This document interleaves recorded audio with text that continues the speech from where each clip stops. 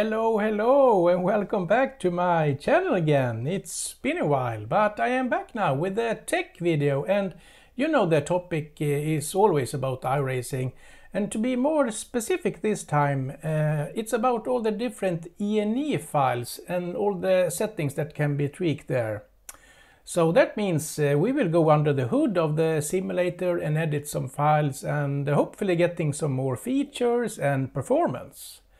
Uh, if you want to skip forward in this video for a particular section, there will be timestamps to all the information in the description below, as always. Uh, this video took a long time to script, film and edit, so please help me out and give it a like and consider subscribing.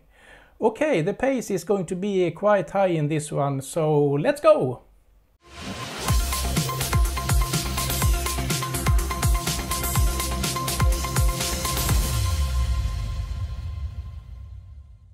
Every setting in the iRacing in-sim options menus are represented in different INI files and there we got even more settings just hiding and waiting for us iRacers geeks to tweak. The reason why some of these settings are hidden is accordingly to iRacing that many of them are a bit confusing and it's difficult to implement them to the UI without making the user experience too complicated. I have collected some of them, but I am sure there are many many more handy ones out there, and many are already well known, but I hope I can introduce some new ones too. We find the different INI files in our document and iRacing folder and we open them easily with Notepad or our app of choice. To help locate the INI files in the folder, we can go to the View settings and then add Show File Name Extensions. I recommend we make a backup copy of the INI files we aim to change, so we can go back with confidence that every change we did will be reverted if needed. And if we screw things up completely, we can just delete the INI files too, and iRacing will make a new default one when a new session is finished. As iRacing constantly updating the simulator, there will of course be changes to the different INI files and some information will vanish, be renamed or move, so don't panic if your settings will vary from the ones shown in this video. First we got the two up INI and core INI files and then potentially 5 render DX11 INI files that represent the different sim display modes that we can choose to use. Monitor Oculus, OpenVR, OpenXR or the original renderer DX11. As an example, if we use a monitor and start a test, practice or a race session from the UI, the renderer DX11 monitor INI file will be used. If we use VR, the three different display mode have its own INI file and we must make sure we make changes in the right file that we use and also not have the simulator running as our saved changes otherwise not will be applied. We also got the camera INI file, but that is just a straight copy of the in-sim camera setting and there is no extra information that can be tweaked there. We can't do any relevant with the fuel data INI file as well. Okay, enough talk about different files, let's move on and zoom in a bit and begin. Let's start with Enable Hidden Load Mode. If we feel like it, we can choose to disable the fancy iRacing UI loading screen and utilize the simulator's original classic loading screen instead by changing the setting here. Virtual mirror size. Here we can adjust the size of the virtual mirror. The default value is medium and we got the ability to have the mirror in large, small, extra small and even extra extra small. Force crowd visible. During test sessions the crowds are always off and during practice and qualifying sessions the crowd are reduced to around 50% by default. When changing the value here, folks will run to the grandstands and fill up the seats regardless of event type. Auto Reset Fast Repair By default, we automatically request fast repair service once our vehicle exits pit road. If we don't want that and instead take full control over this feature and instead save it and use it when really necessary, we can disable this by changing the values accordingly. Auto Reset Pit Box Same thing here. By default, iRacing automatically requests full pit service once our vehicle exit pit road. If we don't want that and instead take full control over both our fuel and tire strategy, we can disable this. Custom Test Session Stall Location. When we are in a test session, we can, by changing the values here, start and use a pit stall other than the first, which is default. The numbers we choose will give us that corresponding position on pit road. If we, as an example, choose to have a pit stall further back and want to practice pit road speed on different tracks without the need of doing a lap first, this could perhaps be somewhat useful. Show, join, leave. If we don't want to see the messages when drivers join or leave a session, we can disable them by doing changes. A few years back, these messages caused stutters, especially when cars were added to the sim, but nowadays it seems solved. Show incident messages while driving. It can be a smart thing to let iRacing show incident messages while driving by default. But if we don't want to be bothered, we can get rid of that information here. Pause replay on exit. When exiting our car, iRacing will by default play the replay instantly, but if we don't want that, we can disable this behavior and instead have a moment of peace and quiet and start the replay when we want. Enable ticker. Here we can enable a race ticker showing lap, driver name, numbers and standings in a replay session going across on top of the screen. You will need to turn off the session UI by pressing spacebar to enable it too. Replay patch remote cars. This setting is enabled by default and is a bit complicated, but this makes the simulator to update the replay with all the cars positions from the server. That means that when we watch a replay, it will show us when the server thinks all the cars are positioned, which will have error due to latency. When disabling this, we are seeing what actually happened on each driver's computer and how each player actually was driving, and it could help us better understand netcode incidents.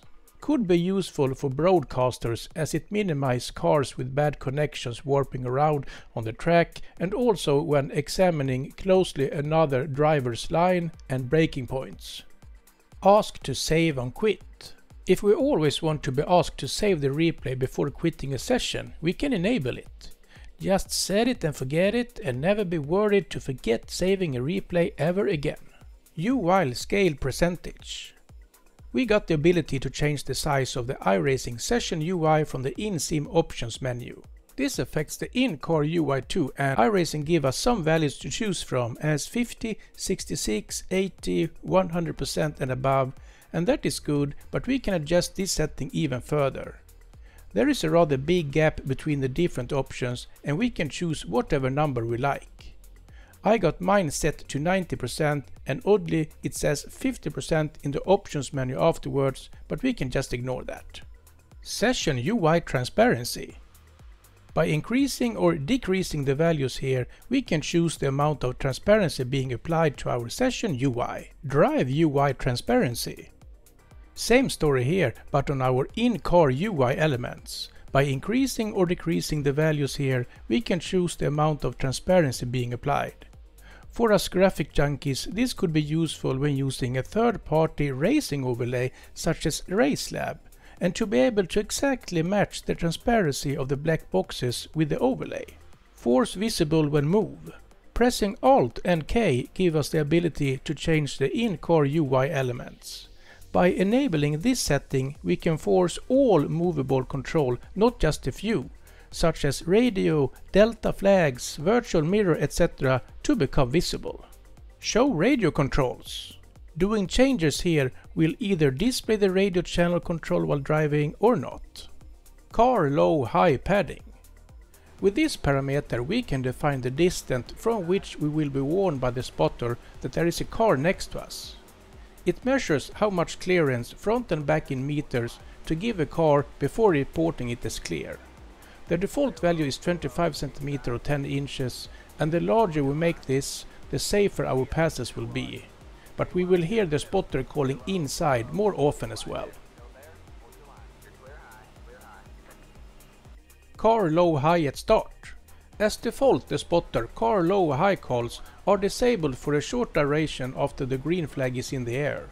But when enabling this setting the calls will be heard immediately as soon as we get the green. Ghost card transparency. In iRacing we can choose to display the reference card during a lonely test session. This is a feature that can help us with our training as it shows our last lap as a ghost car on the track. In this setting we can choose the amount of transparency being applied to the ghost car. We can in fact make it completely visible like our own car. Ghost car offset sec. If we also want to chase our ghost car rather than it always take our exact position from the last lap, we can give it a lead by adjusting the prefix number and perhaps make the training a bit more fun and realistic. Fade ghost car when close.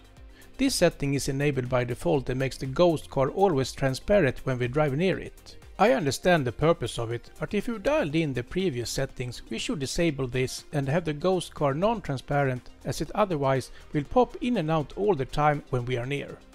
Cockpit look angle.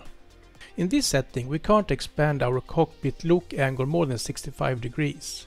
Instead we can reduce it and sim racers with one monitor and a limited field of view can find this setting interesting. Cockpit look instant.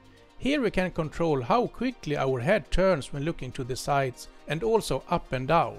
By default that transition is very sharp and digital and by changing the value here we can have a smoother, much more realistic movement. Cockpit look down angle. As we can control our head movement looking horizontally, we can also do it vertically. We got the possibility to adjust the angle in degrees to tilt our head when looking down. If you just want to see our gauges when looking down and not our pants, we can reduce this setting but also the opposite and increase it. The use here is much dependent on what car we drive and our field of view in use. Driver head wobble.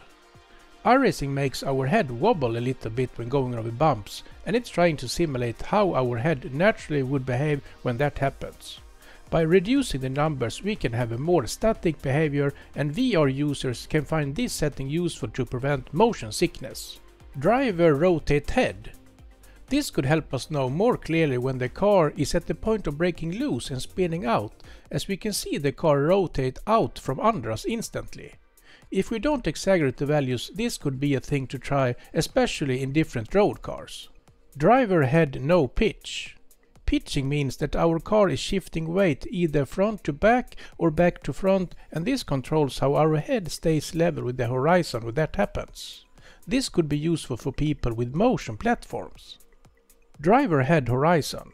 When our car is leaning to one side, this controls how our head stays level with the horizon. It enables a roll effect that helps us to visually observe the amount of leaning our car is experiencing as the track changes from flat to banked or when we go over curbs.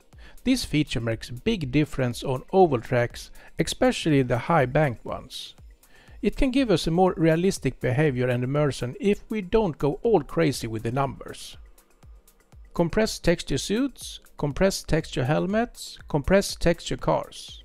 If we want to enhance how car paint, suits and helmets looks like, we can choose to force iRacing to use uncompressed textures instead of compressed textures.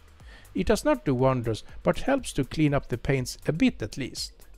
These settings does not affect our frame rate, it just makes the sim consumes much more video memory according to iRacing. Up to around 1 GB in a 64 car race but as custom paints often got more layers, we can easily double that, so keep a close eyes on this one. But it's a good one. Load textures when driving. Here we can choose how the simulator load the textures just mentioned. Load them when we are out of the car, in pit lane just sitting in a garage or replay screen, or loading the textures when we are driving. Changing this will minimize the risk of car paints popping in and out during a race. Dynamic Shadow Res. This setting controls the resolution generated by the dynamic object setting. Lowering the numbers a notch will help if you want extra performance but with really scary jagged shadow as a result. Increasing the numbers will definitely give us less frame rate but delivers very nice sharp shadows. FXAA Quality Edge Threshold FXAA Quality Sub Pix we can fine-tune the post-process anti-aliasing method FXAA and try to make it preferably less blurry and save some level of details. If we lower the value FXAA quality edge threshold that controls the minimum amount of local contrast required to apply the algorithm, we theoretically get a smoother image. FXAA quality subpix control the amount of subpixel aliasing removal. Higher value makes the image softer and blurrier. We should not expect too much visual differences, but if we seek some performance gains, this could at least be worth a try. Sharpening clamp. Sharpening amount. Sharpening helps the anti-aliasing and enhances the edges and reduces blurriness and this drastically improves clarity. We can change the sharpening amount to a lower or a higher number that decrease or increase the sharpening effect. We can also fine-tune it even more by changing the sharpening clamp to a higher number that to my understanding adjusts the maximum percentage that each pixel can change. YouTube compression is unfortunately washing out the fine details between the settings but the differences are quite noticeable. Max pit objects to draw in mirrors. Max pit objects to draw. Max cars to draw in mirrors. Max cars to draw we can adjust how many cars will be shown in our main cockpit view camera and in the mirrors. Draw Pits does exactly the same thing but is only controlling the amount of render cars being visible in the pit area. iRacing provides us with a few predetermined numbers and we can adjust these settings even more by dialing in our own numbers. By doing so, we can gain some performance and the value will be changed to customize in our in-sim graphic options menu. Max working set megabyte 64-bit, video memory megabyte. We can adjust both these more accurate by entering in the exact values we want as the slider in the in-sim options menu works but is a bit fiddly. We can't exceed any limits though. Windowed X push, windowed width, windowed height. We can use iRacing with a 3 screen monitor setup without the need of activating NVIDIA Surround by adding our vertical resolution on our monitor in the window height and our horizontal resolution times 3 in the window width and making sure that the window X-push is offset by the horizontal resolution of our monitor, meaning a negative value. And then we are basically set. Session UI full screen. Here we have the ability to change so the iRacing session UI expands from the center monitor to both side monitors when using a triple monitor setup. Drive UI full screen. Also, if we use a triple monitor setup, we must activate this setting if we want to move our in-car UI elements from the center monitor to the side monitors. Dynamic Track Texture Update Rate. To manually control the maximum frequency of the setting Dynamic Track and its texture updates, we can change some numbers either decrease or increase it and if the latter watch out for high CPU usage. To really see the changes such as increased rubber build-up on the track, we need to my understanding have shadow maps and dynamic objects also enabled. NUM processor to use for new damage.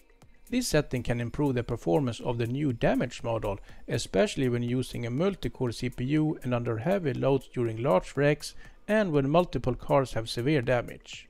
By default the simulator will utilize half of the available logical processors on our CPU and that means two cores and two threads on a quad core system with hyperthreading and we can change that if needed and raise that to a value that is optimized for our PC specs.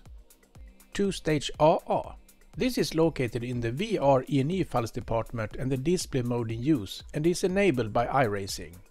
This run anti-aliasing on the UI elements and if we want to save some performance we can disable this option by changing the prefix value. Visibility frame delay. When changing this we could according to iRacing eliminate some stutters and gaining some frame rate especially when cornering at large road courses. Monochrome headlights. Here we can enable monochrome headlights and this will make all car headlights to render as white lights providing a bit less banding and saving some performance. IR SDK Autolog Disk. Lastly, if we want our log telemetry to automatically start when we enter our car, we can enable this and be happy to find the files in the Documents iRacing telemetry folder.